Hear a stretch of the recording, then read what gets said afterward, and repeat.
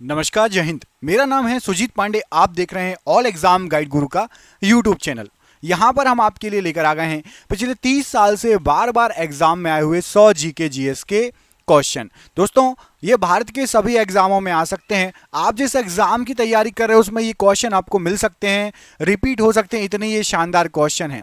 दोस्तों, हम आपके लिए रोज सौ सौ क्वेश्चन की ये वीडियो लेकर आते हैं। आप में से जो पुराने स्टूडेंट हैं, सब जानते होंगे। बहुत ही शानदार क्वेश्चन है।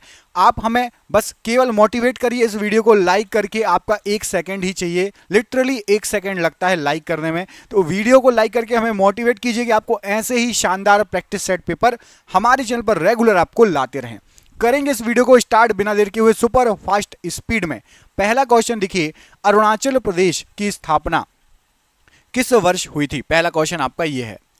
तो यहाँ पर आपका अरुणाचल प्रदेश की स्थापना के लिए राइट आंसर हो जाएगा। ऑप्शन नंबर यहाँ पर राइट आंसर है आपका। बी उन्नीस में अरुणाचल प्रदेश की स्थापना हुई थी। ऑप्शन नंबर भी उन्नीस राइट आंसर है। माले किस देश की राजधानी है? तो जो माले है, ये Maldives option number B, Maldives की राजधानी मालदीव हमारा पड़ोसी देश भी कहलाता है, जो कि सागर से समुद्र से लगा हुआ है मालदीव। पीडीएफ का पूर्ण रूप क्या होता है? तो पीडीएफ का फुल फॉर्म होता है portable document format. Portable document format PDF का फुल फॉर्म होता है। अगला क्वेश्चन है, संयुक्त राष्ट्र अमेरिका का राष्ट्रीय खेल क्या है? तो संयुक्त राष्ट्र अमेरिका, इसका जो राष्ट्रीय खेल है यह है आपका baseball option number A baseball संयुक्त राष्ट्र अमेरिका का राष्ट्रीय खेल है। अगला क्वेश्चन है, ओरंग नेशनल पार्क कहाँ पर स्थित है? ओरांग या ओरंग?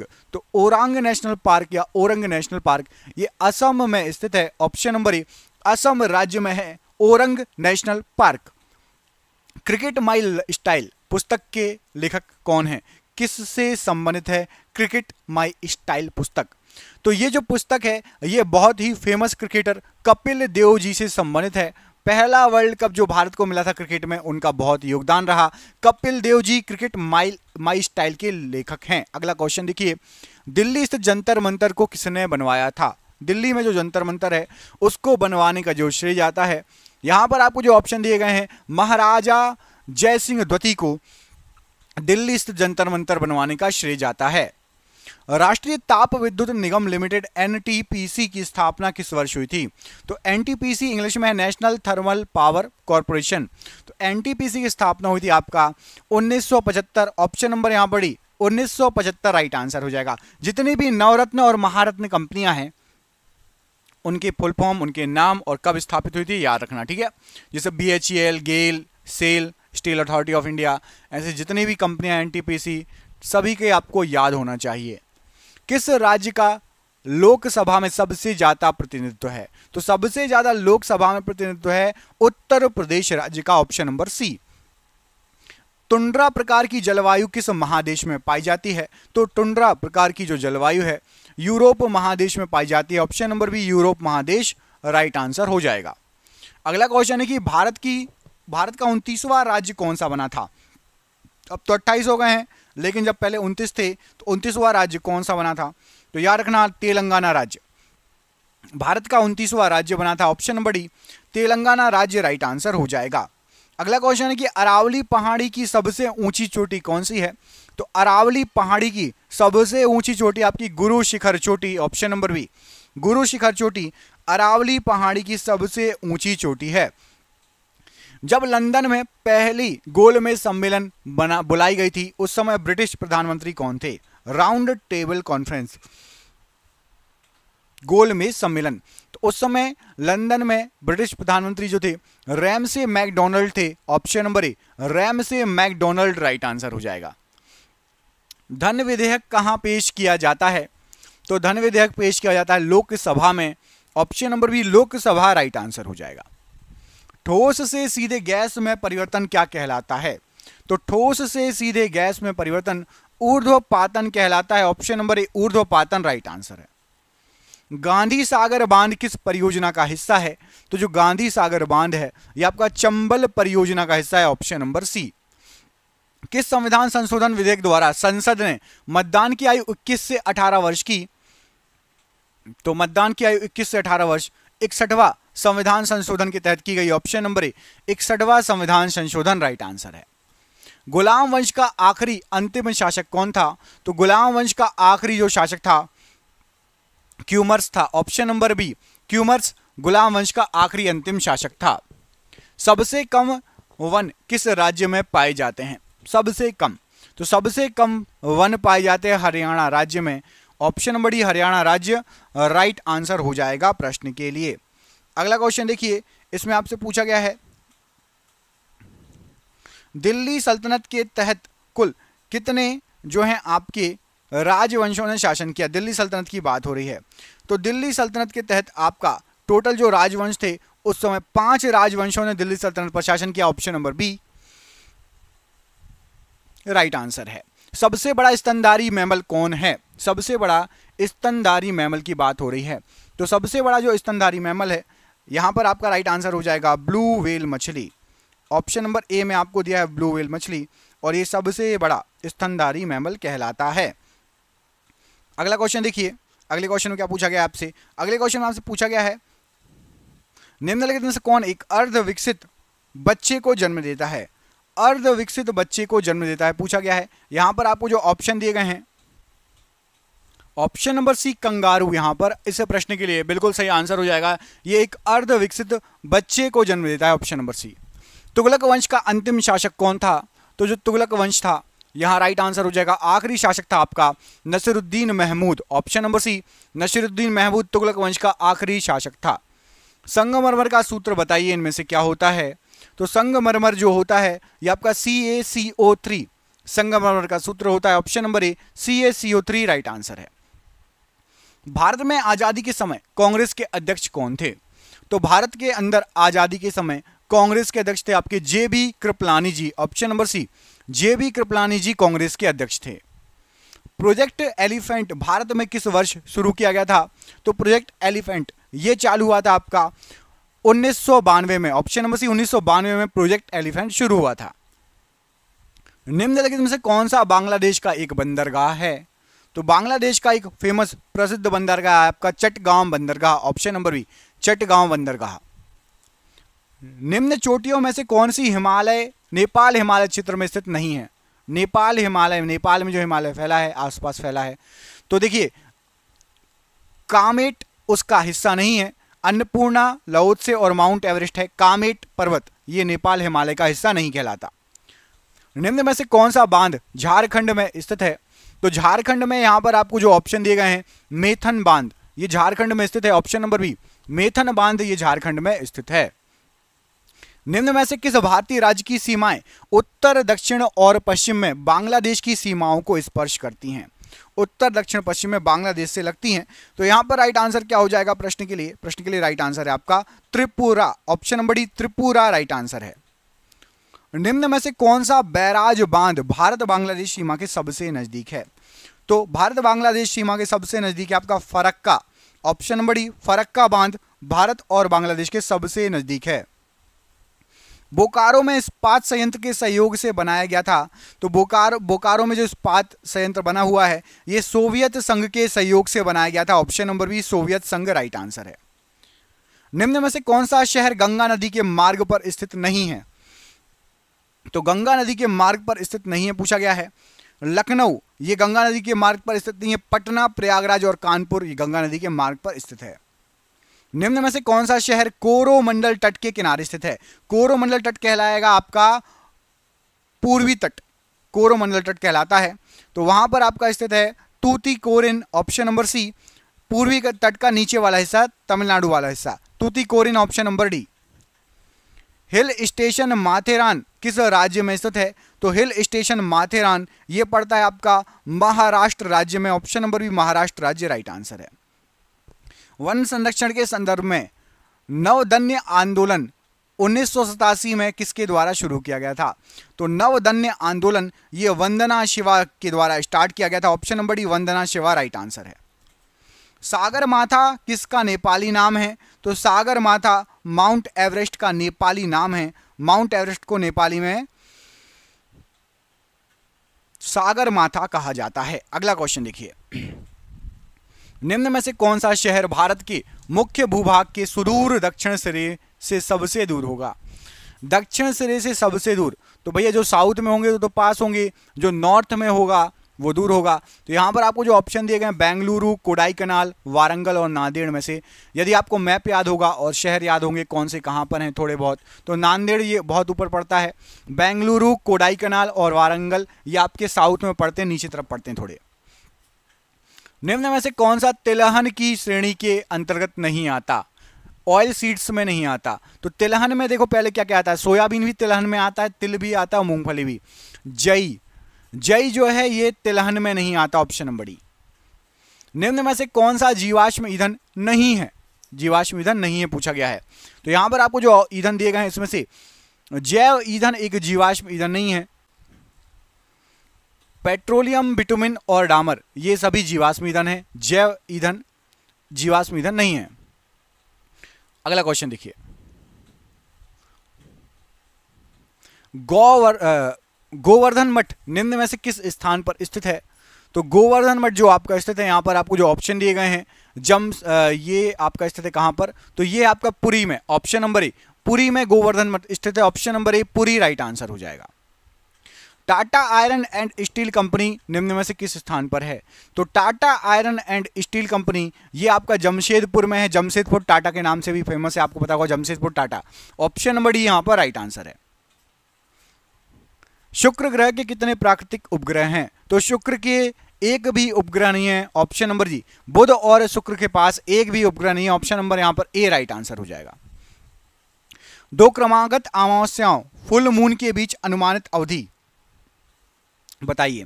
तो दो अमावस्याओं के बीच में जो अनुमानित अवधि होती है, वो करीब एक महीने मतलब उनतीस दशमलव पाँच दिन ऑप्शन नंबर ए यहाँ पर राइट आंसर हो जाएगा।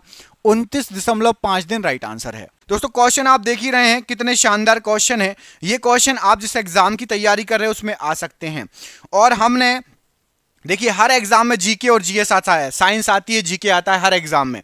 आपके लिए हमने दस हज़ार जीके के एमसीक्यू क्वेश्चन तैयार किए हैं। कितने? एक नहीं, दो नहीं, दस हज़ार क्वेश्चन और ये दस हज़ार क्वेश्चन आपको तीन सौ रुपए की पीडीएफ पड़ेगी। पीडीएफ बना ली गई है। सभी को पीडीएफ व्हाट्सएप पर मिल जाएगी। आप में से सब लोग व्हाट्सएप चलाते हो, व्हाट्सएप पर पीडीएफ भेज दी जाएगी।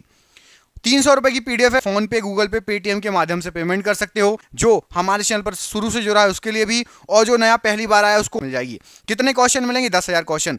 रट लोगे ना तो जी के जी एस महा स्ट्रॉन्ग हो जाएगी हर सब्जेक्ट में। जिसको भी पीडीएफ चाहिए, नीचे दिए गए नंबर पर संपर्क कर लेना। कॉल कर लेना मैसेज कर देना, या व्हाट्सएप पर आप संपर्क कर सकते हो नीचे दिए गए नंबर पर। ज़रूर ले लेना पढ़ने वाले बच्चे। आपके एग्ज़ाम में फंस सकते हैं ये क्वेश्चन नब्बे डिग्री पूर्व यामोत्तर से होकर नहीं गुजरती इनमें से कौन? तो नब्बे डिग्री पूर्व यामोत्तर से होकर। देखो, बांग्लादेश से जाता है, भूटान से भी, मेघालय से भी। सिक्किम से नब्बे डिग्री पूर्व यामोत्तर नहीं जाता ऑप्शन नंबर डी यहाँ पर राइट आंसर है। भौगोलिक क्षेत्र में प्रजातियों का विकास एक स्थान से दूसरे स्थान पर होता है। प्रसारित होता है, इसको क्या कहते हैं? तो प्रजातियों का जो विकास होता है भौगोलिक क्षेत्र में, इसको अनुकूलीय विकरण कहते हैं। एडप्टिव रेडिएशन कहा जाता है option number B adaptive radiation Punjab, Haryana, Rajasthan और तमिलनाडु, राज्यों में से जल का उपयोग अधिक होता है, किस टाइप का? तो पंजाब, हरियाणा, राजस्थान और तमिलनाडु में अधिकतर भूमिगत जल का यूज़ होता है ऑप्शन नंबर ए अधिकतर भूमिगत जल का यूज़ होता है। अगला क्वेश्चन देखिए। डैश ऐसी भूमि है जो पाँच साल से अधिक सालों से अकृषित रही है मतलब उस पर कृषि नहीं किया गया है, ऊसर है। और सुधार कार्यों के माध्यम से उस पर सुधार के पर उस पर खेती किया जा सकता है। तो पाँच साल से खेती नहीं की है तो बंजर तो हो गई है, लेकिन यदि उसको सुधारेंगे तो खेती कर सकते हैं। तो खेती योग्य बंजर भूमि ऑप्शन नंबर सी खेती योग्य बंजर भूमि। मैग्नीज का भंडार सुंदरगढ़, निम्न में से किस राज्य में स्थित है? तो मैग्नीज का भंडार सुंदरगढ़। ये पड़ता है आपका उड़ीसा राज्य में ऑप्शन नंबर सी उड़ीसा राज्य राइट आंसर है। गोवा राज्य का कुल क्षेत्रफल कितना है? तो गोवा राज्य का कुल क्षेत्रफल 3,702 किलोमीटर वर्ग या kilometre square option number B यहाँ पर सही आंसर हो जाएगा। निम्नलिखित में से किस राज्य में राज्य विधानमंडल में दो सदन हैं? तो राज्य के विधानमंडल में दो सदन हैं आपके महाराष्ट्र राज्य में ऑप्शन नंबर ए महाराष्ट्र राज्य राइट आंसर है।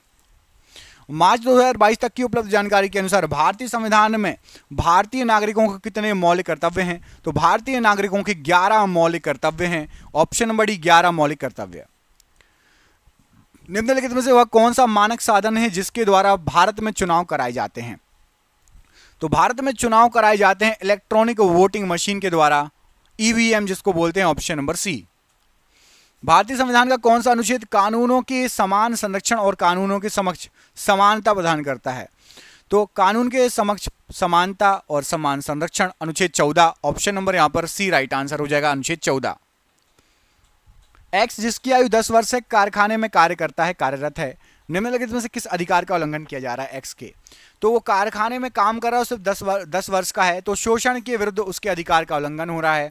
ऑप्शन नंबर बी चौदह वर्ष से कम उम्र के बच्चों को कारखाने में या किसी भी खतरनाक जगह पर काम नहीं कराया जा सकता। भारतीय संविधान के अनुसार प्रधानमंत्री की नियुक्ति किसके द्वारा की जाएगी? तो भारतीय संविधान के अनुसार प्रधानमंत्री की नियुक्ति भारत के राष्ट्रपति के द्वारा की जाएगी। ऑप्शन नंबर सी भारत के राष्ट्रपति के द्वारा राइट आंसर है। छोटे राज्यों के कुल अपवादों के अतिरिक्त राज्य विधानसभा में सदस्यों की संख्या बताइए। तो राज्य विधानसभा में सदस्यों की संख्या आपकी 60 से 500 option number C right answer है। भारतीय संविधान में मौलिक अधिकारों के विचार को किसके संविधान से लिया गया है? तो मौलिक अधिकारों के विचार को संयुक्त राज्य अमेरिका के संविधान से लिया गया है। निम्नलिखित भारतीय नर्तकियों में से कौन भारतीय इतिहास की पहली महिला थी जिसने राज्यसभा के सदस्य के रूप में कार्य किया? तो नर्तकी में सबसे पहली थी रुक्मणी देवी, जिन्होंने राज्यसभा के सदस्य के रूप में कार्य किया। ऑप्शन नंबर ए यहाँ पर राइट आंसर हो जाएगा। शिक्षा के अधिकार को भारतीय संविधान में वर्ष डैश में एक मौलिक अधिकार के रूप में जोड़ा गया। तो शिक्षा के अधिकार को 2002 में मौलिक अधिकार के रूप में जोड़ा गया। Option number D right answer है। भारत के संविधान के अनुसार प्रत्येक राज्य की प्रत्येक विधानसभा जब तक कि जल्द ही भंग ना हो जाए, अपनी पहली बैठक के लिए नियुक्ति से कब तक जारी रहती है? तो विधानसभा होती है छह विधानसभा विधानसभा है ना? विधानसभा होती है आपकी, नियत तिथि की बात हो रही है तो नियत तिथि के तो पाँच वर्ष होती है विधानसभा नियत तिथि के, पाँच वर्ष होती है लोकसभा, और राज्यसभा होती है आपकी छह वर्ष तक, ठीक है? पाँच वर्ष विधानसभा, हालाँकि राज्यसभा को कभी भंग नहीं किया जा सकता, याद रखिएगा। राज्यसभा को कभी भी भंग नहीं किया जा सकता। अगला क्वेश्चन भारतीय संविधान में राज्य के नीति निषेक सिद्धांतों के तहत निम्नलिखित में से किस अनुच्छेद में ग्राम पंचायतों का गठन है? का उल्लेख किया गया है तो ग्राम पंचायतों का गठन अनुच्छेद 40 ऑप्शन नंबर डी अनुच्छेद 40 राइट आंसर है। भारतीय संविधान के अनुसार भारत में राज्य विधानसभा का कार्यकाल बताइए। तो राज्य विधानसभा का कार्यकाल होता है पाँच वर्ष, ठीक है? लोकसभा पाँच वर्ष, विधानसभा पाँच वर्ष। भारतीय संविधान में अनुच्छेद तैतालीस बी को किस रूप में जोड़ा गया? तो तैतालीस बी में राज्य के नीति निषेक तत्वों को जोड़ा गया ऑप्शन नंबर सी राज्य के नीति निषेक तत्व राइट आंसर है। भारत के संविधान में कहा गया है कि कोई भी व्यक्ति भारत के राष्ट्रपति के रूप में चुनाव के लिए तब तक योग्य नहीं होगा जब तक उसने कितने वर्ष आयु पूर्ण ना कर ली हो। तो राष्ट्रपति के लिए 35 वर्ष की आयु चाहिए। यदि आप 35 साल के हो तो राष्ट्रपति के लिए चुनाव लड़ सकते हैं। भारतीय संविधान का निम्नलिखित में से कौन सा अनुच्छेद निदेशक सिद्धांतों के अनुप्रयोग के बारे में बताता है। तो अनुच्छेद सैंतीस में निदेशक सिद्धांतों के अनुप्रयोग के बारे में बताया गया है। संविधान अनुसूचित जनजाति आदेश संशोधन विधेयक 2022 सात फरवरी 2022 को लोकसभा में किसने पेश किया था? तो अनुसूचित जनजाति संशोधन विधेयक। इसको पारित किया था अर्जुन मुंडा जी ने। Option number A, Arjun Munda ji, right answer है। अमित, भारत में लोकसभा चुनाव लड़ना चाहता है। कितने अधिकतम सीमा है जहाँ से वो चुनाव लड़ सकता है? तो अमित, ज़्यादा से ज़्यादा दो जगह से चुनाव लड़ सकता है। ये क्वेश्चन मैंने शायद आपको कल या परसों के वीडियो में कराया भी था। भारतीय संविधान के अनुसार डैश वर्ष से कम उम्र के किसी भी बच्चे को किसी कारखाने या खदान में काम करने के लिए रोज़गार में नहीं लगाया जाएगा। तो मैंने आपको थोड़ी देर पहले बताया, चौदह वर्ष से कम उम्र के बच्चे को आप नहीं लगा सकते। भारतीय संविधान का निम्नलिखित में से कौन सा अनुच्छेद कुल मामलों में दोनों सदनों की संयुक्त बैठक का उल्लेख करता है? तो दोनों सदनों की संयुक्त बैठक का उल्लेख अनुच्छेद 108 ऑप्शन नंबर बी यहाँ पर राइट आंसर है।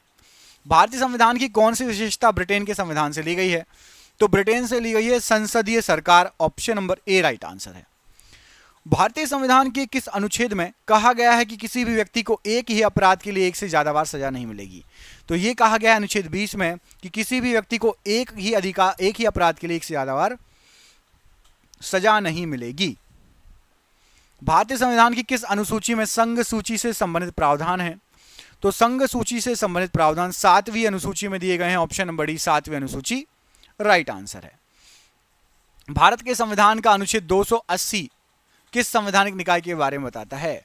तो अनुच्छेद 280 वित्त आयोग के बारे में बताता है। ऑप्शन नंबर डी निम्नलिखित में से कौन सा भारतीय संविधान की प्रस्तावना का हिस्सा नहीं है?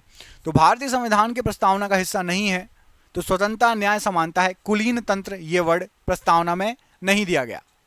पेंगुइन चिड़िया कहाँ पर पाई जाती है? तो पेंगुइन चिड़िया अंटार्कटिका में पाई जाती है, ऑप्शन नंबर सी, अंटार्कटिका में पेंगुइन चिड़िया पाई जाती है। वह विलुप्त पक्षी जिसके चोंच में दांत था तो वह विलुप्त पक्षी है, ऑर्कियोपटेरिक्स, जिसके चोंच में दांत था। डॉल्फिन वर्गीकृत किए जाते हैं किसमें तो डॉल्फिन एक स्तनधारी है, ऑप्शन नंबर डी। स्तनी या स्तनधारी राइट आंसर हो जाएगा डॉल्फिन। क्रेप चक्र में किसका संश्लेषण होता है? तो क्रेप चक्र में पायरुविक अम्ल का संश्लेषण होता है, ऑप्शन नंबर बी। अनॉक्सी शोषण का अंतिम उत्पाद होता है तो अनोक्सी शोषण का अंतिम उत्पाद लैक्टिक अम्ल होता है, ऑप्शन नंबर सी। मनुष्य के शरीर में मुख्य नाइट्रोजनी अपशिष्ट कौन सा होता है? तो शरीर में मुख्य नाइट्रोजनी अपशिष्ट होता है आपका urea. Option number A, urea right answer है।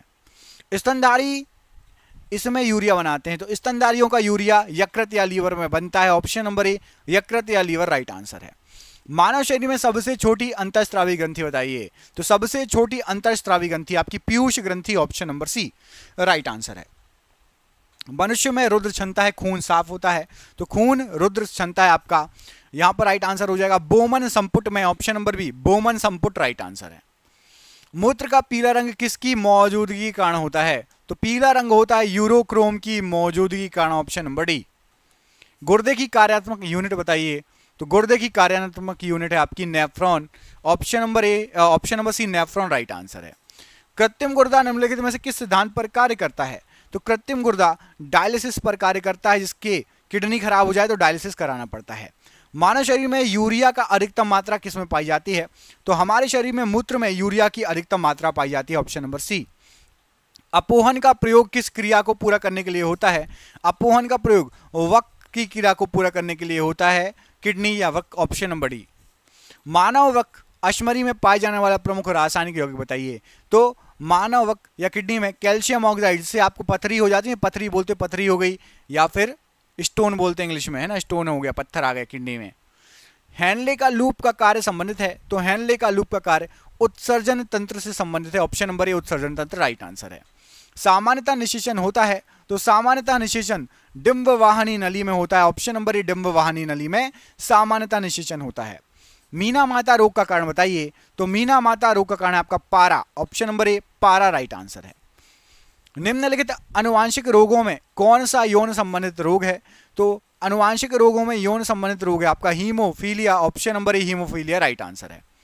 जापानी एनसेफिलाइटिस का कारक होता है। तो जापानी एनसेफिलाइटिस ये विषाणु या वायरस के कारण होता है। Option number B vitamin B two का अन्य नाम बताइए।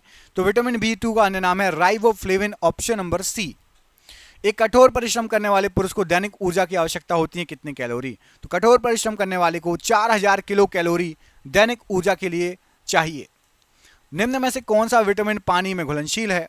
तो पानी में आपका घुल जाता है विटामिन बी ये पानी में घुल जाता है vitamin B option number B नवजात बच्चों के लिए सबसे आदर्श भोजन क्या है? तो सबसे आदर्श भोजन है दूध। वो भी माँ का दूध सबसे ज़्यादा छः छः महीने तक।